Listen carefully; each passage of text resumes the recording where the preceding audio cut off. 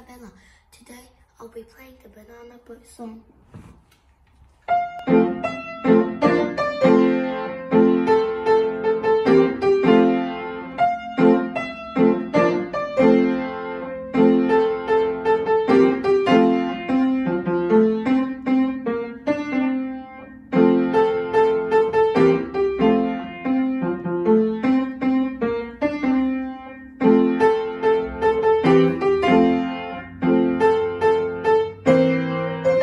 thank you